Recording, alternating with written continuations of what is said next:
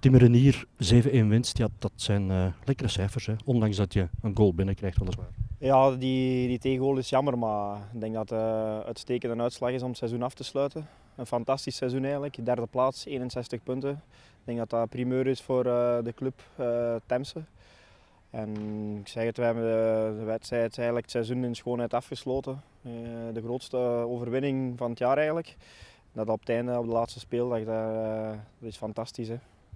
En het goede nieuws is dat uh, de kern zo goed als samen blijft, dat er versterking bij komt. Dus met dit KSV Temse moet men rekening houden. Ook het komende seizoen, al is bevestigen natuurlijk steeds het moeilijkste. Dat klopt. Uh, het hangt natuurlijk ook af van uh, de reeks waar we in terecht gaan komen. Hè. Wat gaat er met de Antwerpse ploegen gebeuren?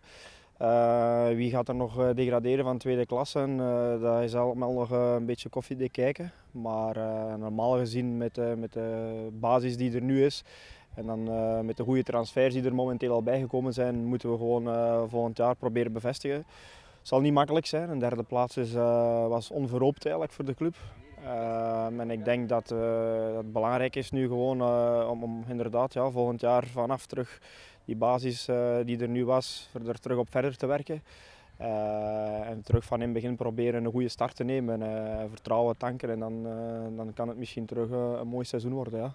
Hoe is dit afgelopen seizoen geweest? Want uh, de afgelopen drie seizoenen was het steeds tegen de degra degradatie. Zelfs tot de allerlaatste minuten, zal ik zeggen, van de reguliere competitie. En nu ja, sta je daar vier op die derde plaats. Absoluut. Uh, het zijn moeilijke jaren geweest voor de club. Uh, we hebben sommige seizoenen met één been in vierde klas gestaan.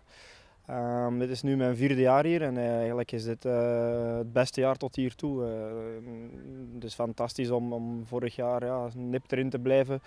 Met knik in de knieën toch nog dat puntje gehaald toen.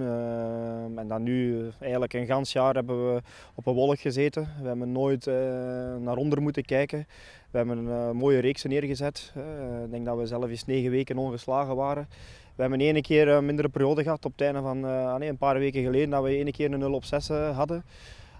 Maar we hebben, we hebben fantastisch afgesloten hè, tegen Doornik en nu tegen Zelen terug punten gepakt, alleen gewonnen. Ruime overwinningen.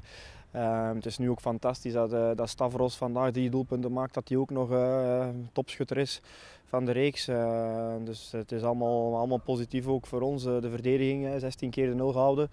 Dus uh, dat is fantastisch. Dat is bijna 1 op 2. Dus uh, ik kan niks negatief uh, aanhalen dit seizoen. Dus allemaal, we hebben ook weinig kwetsuren gehad of langdurige gekwetsten gehad.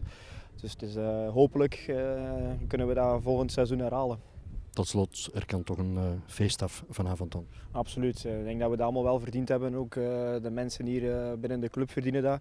Die hebben allemaal keihard gewerkt om, om, om er toch iets van te maken. Hè, na de moeilijke jaren die we gehad hebben.